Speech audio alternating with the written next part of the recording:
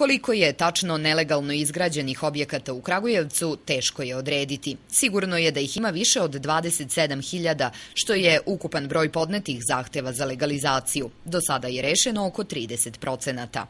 Rešeno je oko 6400 zahteva, oko 1600 zahteva je u proceduri,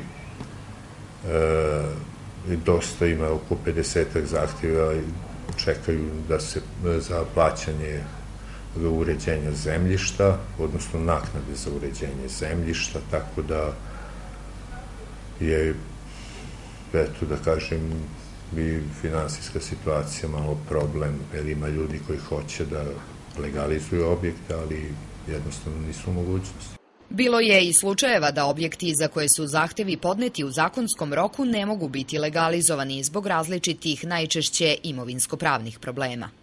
Dešava se da objekat jednostavno nije podoban, znači u lošem je stanju, onda i, ima problema isto kada objekat e, e, izađe van regulacione linije, to je linija koja deli javno i ostalo zemljište onda dešava se opet, kažem, imovinsko-pravni problemi da jednostavno ne, ne daje se saglasnost komšije Da li će konačno biti rešen problem divlje gradnje u Srbiji biće poznato do kraja ovog meseca, posle predloga novog zakona o legalizaciji. Od 2003. godine svaki zakon je sadržao rokove koji su kasnije pomerani, pa u gradskoj upravi ne mogu da preciziraju šta će biti sa vlasnicima koji do sada nisu podneli zahteve za legalizaciju svojih objekata.